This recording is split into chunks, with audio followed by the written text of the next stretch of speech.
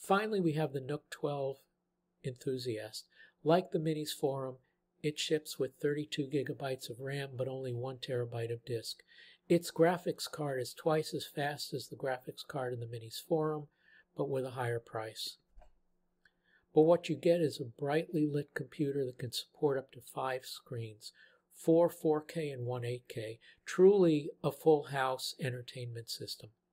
It is also great for computer gaming. It also has amazing connectivity compared to the others, with six high-speed USB ports and two mini DP ports. So what do we have? We have the Beelink S12 is good for a small entertainment system. The Minisforum's UM680S is good for a system with two or three displays or light gaming.